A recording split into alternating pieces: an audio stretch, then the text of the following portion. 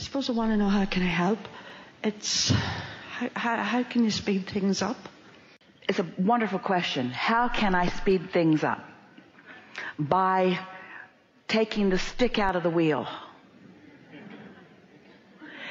There's a natural momentum. You see, because you've already set it in motion by asking for it.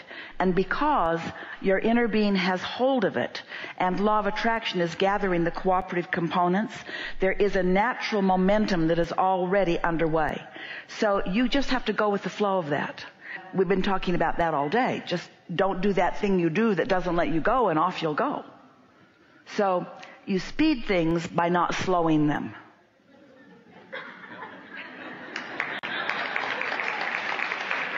And you speed things with satisfaction, you slow things with dissatisfaction. Or, let's be really accurate, you speed what you want with satisfaction, you speed what you don't want with dissatisfaction.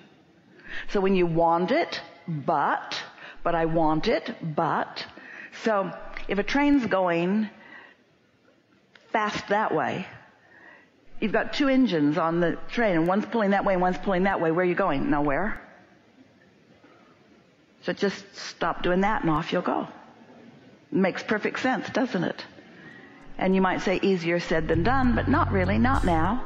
You heard enough today to know what to do, yes?